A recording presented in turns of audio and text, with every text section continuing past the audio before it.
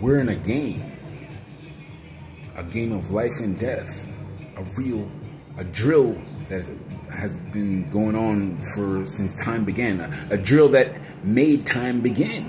Before that, there was no time.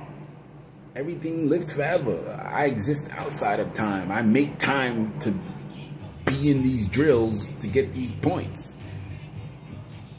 You know what I'm saying? Like it's it's it's it's, what it is. This is this is it's a series of numbers of, of zeros and ones that's all around you that you can't see. Is it that hard to believe? You have Wi-Fi. There's something go, there's stuff going on around you that you can't see, but you can you can use it. You can benefit from it. You have Wi-Fi on your phone. You have Wi-Fi on your computer. You can wirelessly get onto the internet, but, but the numbers are all around you, but you can't see. So how is that? How is that any different from being in the matrix? How is that any different from me to say like, hey, well, listen, you know that moon is broadcasting a series of numbers of zeros and ones all around this planet to create an illusion. How is that any different from from your your Wi-Fi doing the same what your Wi-Fi does, what your router does?